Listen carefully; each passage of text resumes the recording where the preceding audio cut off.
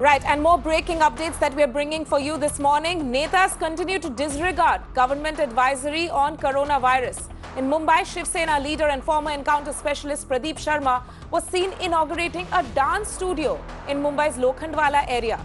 Though the Neta claimed there were only 10 people, actually over 70 people attended the event.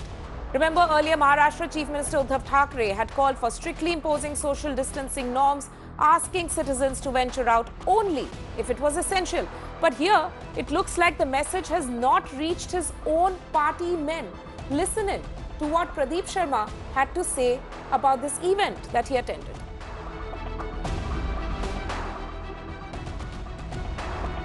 क्योंकि function तो है नहीं family दस बारह लोगों का फ़ंक्शन है मेरे हिसाब से। ज़्यादा कोई बाहर के लोगों ने, फरिंजी ने, लोगों को फरिंजी ने बुलाया नहीं है।